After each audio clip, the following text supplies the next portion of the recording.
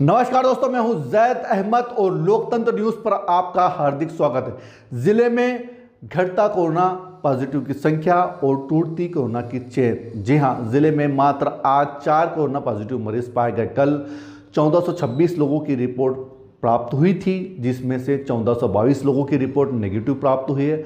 मात्र चार लोगों की रिपोर्ट पॉजिटिव प्राप्त हुई है और पॉजिटिविटी दर जो है 0.28 रहा। जी हाँ तो आज जो चार कोरोना पॉजिटिव मरीज़ पाए गए हैं, अगर उनकी बात करें तो पानसमल क्षेत्र में दो, अंजड़ क्षेत्र में एक, निवाली क्षेत्र में एक कोरोना पॉजिटिव मरीज़ पाया गया है।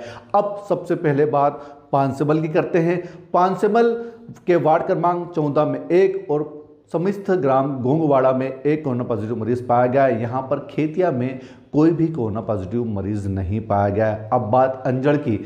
अंजड़ प्रॉपर में वार्ड क्रमांक एक में एक कोरोना पॉजिटिव मरीज़ पाया गया है। अब बात निवाली के निवाली के स्कूल फलिया नानझिरी में एक कोरोना पॉजिटिव मरीज़ पाया गया। है सबसे बड़ी राहत वाली बात है कि जिला मुख्यालय बड़वानी, सेंधवा और राजपुर जैसे क्षेत्रों में कोई भी कोरोना पॉजिटिव मरीज़ नहीं पाया गया।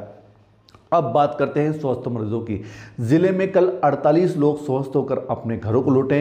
अब तक एक लोगों का उपचार विभिन्न स्थानों पर जारी है। उन्नीस लोगों की रिपोर्ट आना अभी शेष है। वहीं तिरासी लोगों के उपचार के दौरान मौत हुई है।